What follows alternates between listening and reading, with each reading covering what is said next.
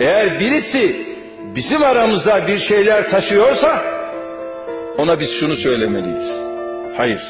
Türkiye'den bizim aleyhimizde olacak bir söz gelmez.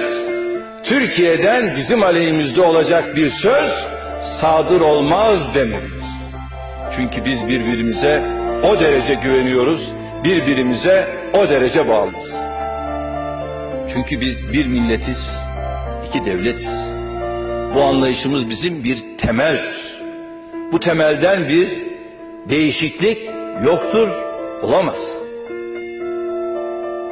Bu kardeşlik ilişkisini konuşmamın başında ifade ettiğim gibi bir millet, iki devlet sözüyle en iyi bir şekilde rahmetli Haydar Aliyev tarif etmiştir. İki ülke arasındaki ilişkiler gerçek bir kardeşlik ilişkisidir. Azerbaycan'ın canı bizim canımız, onun varlığı bizim varlığımız, mutluluğu ise bizim mutluluğumuzdur. Dikkat edin, kardeşlik diye bir tabirin uluslararası ilişkilerde yeri yoktur. Bu tabir dünyada sadece bizler arasında vardır.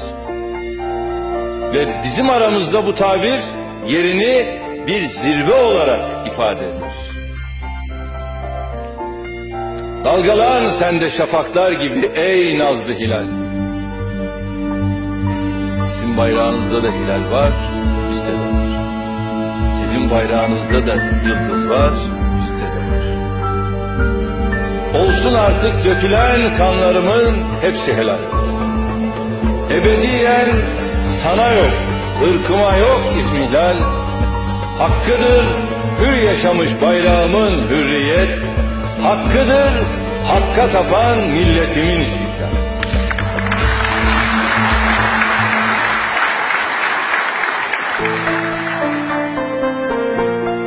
Sen olasan Gülistan, Sene her an can kurban.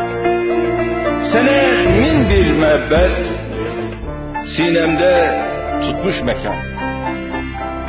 Namusunu hıfzetmeye, bayrağını yükseltmeye cümle gençler müştaktır.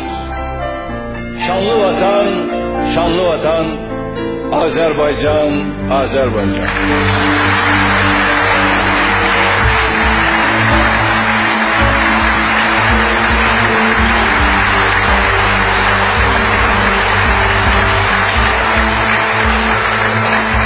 Sizleri sevgi ve saygıyla selamlıyorum.